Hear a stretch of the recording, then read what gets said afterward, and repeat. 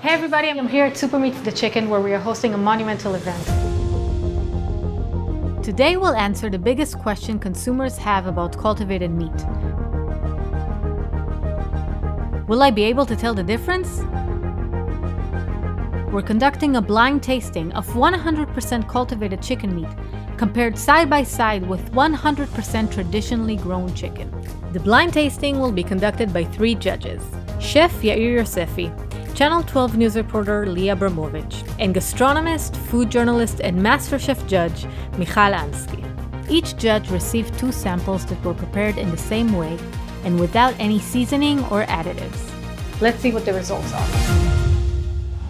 I wrote down that uh, there's a difference between them, but I wouldn't be sure which one is the chicken, which is nice, very nice. I would say I would say um, B is the chicken, maybe. Thank you. Um, so the first thing that caught my eyes is the color. The color is different. Both felt like chicken. If you ask me which one I like more, this one I like more. Okay, thank you. I would say that it's remarkable because they're both uh, very similar.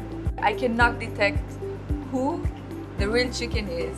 If I would have to bet, I would say that B is the, the cultivated chicken. A is the cultivated chicken, and B is the chicken fillet that were slaughtered and grown And I was wrong. You were wrong in this case. I was so sure that this is the real chicken. Now I'm confused.